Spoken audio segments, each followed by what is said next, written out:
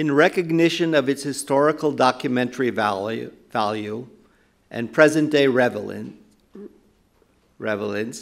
providing insights into Ukraine's post Soviet disarmament process, debunking myths promoted by Russia, and exposing critical strategic errors made by the West, the Peterson Literary Fund 2021 Translated Book Award goes to Ukraine's Nuclear Disarmament, a History.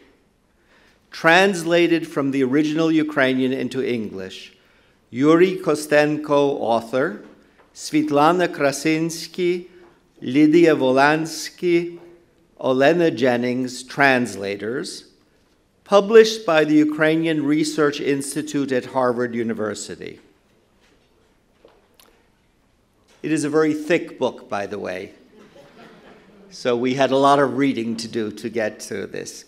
But we encourage you to join us in it.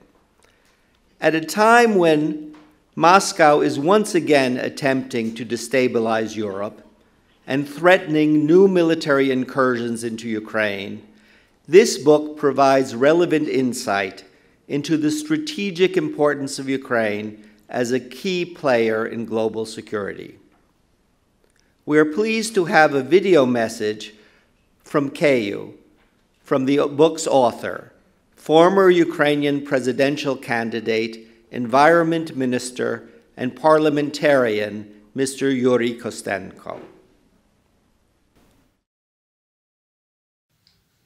Високоповажні пані та панове, дозвольте висловити мою щиру вдячність літературному фонду імені Пітерсона та журі конкурсу за високу оцінку моєї монографії Історія ядерного роззброєння України. У чому принципова відмінність цієї історії і в чому її принципова новизна в порівнянні з тим, що говорилося про ядерне роззброєння і не тільки України, але й інших країн, зокрема Південно-Африканської Республіки. По-перше, українська історія ядерного роззброєння у світі дуже мало знана.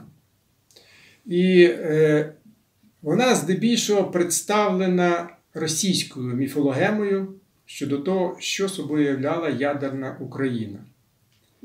І на превеликий жаль, більшість західних засобів масової інформації транслювали цю російську міфологему, і вся ця робота е, звелася до абсолютно викривленого розуміння того, що Україна як держава брала на себе як зобов'язання щодо ядерного роззброєння, і чому вона це здійснювала.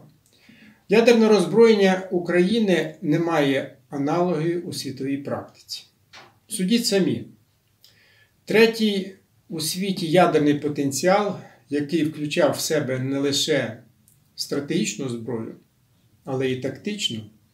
І це приблизно 5 тисяч ядерних боєголовок різної потужності, міг доставити цю страшну зброю до будь-якої точки у світі. Будь-якої. А відтак, це дійсно з одного боку загроза.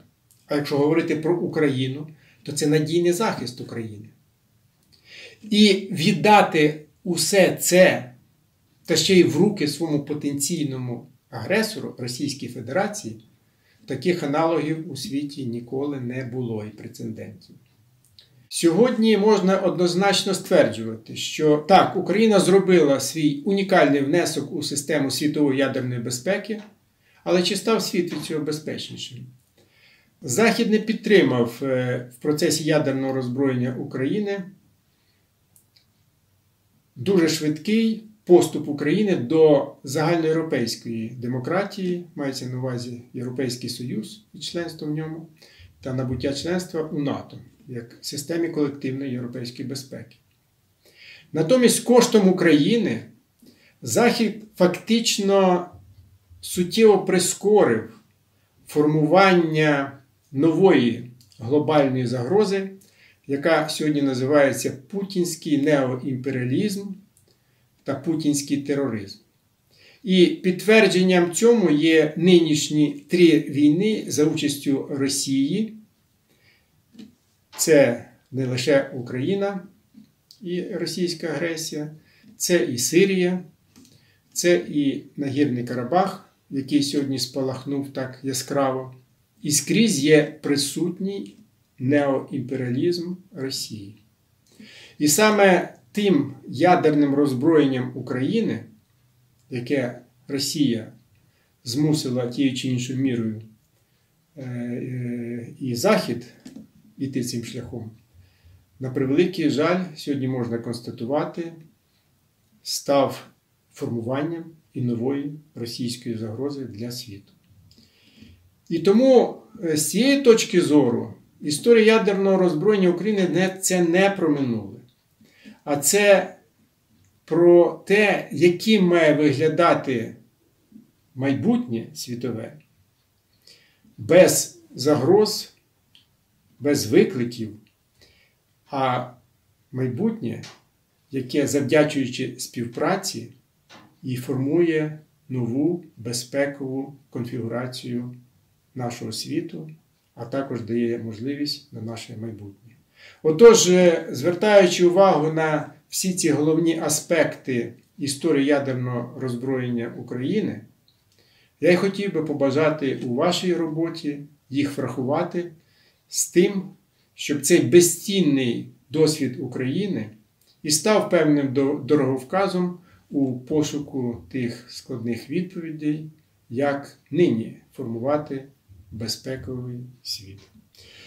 Також і хочу подякувати вашому фонду за сумлінну працю щодо поширення світові історії української держави, історії нашого народу, а також глибини всього того, що українська цивілізація дала світові. Щира вдячність вам за цю сумлінну роботу.